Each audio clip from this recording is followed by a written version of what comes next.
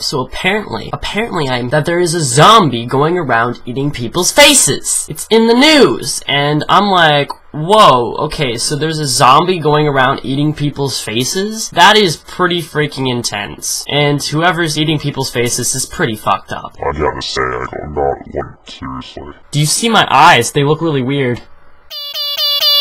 Ah. Was my favorite day today. So I, I missed the bus again today. Actually, I just kind of like didn't wake up until later. So that's awkward.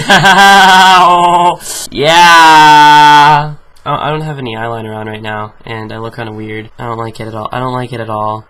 I don't know what I'm going to be doing today at all. I don't know what I'm going to be doing tomorrow, or the next day, or the next day. For the future! That's all I know. Mm-hmm. Anywho, I guess that is the end of the video. -ho. So good day you all. Good day, day, day, day, day, day, day. Have a nice day. Have you come my fafe? Find my ferret. Did you eat my ferret?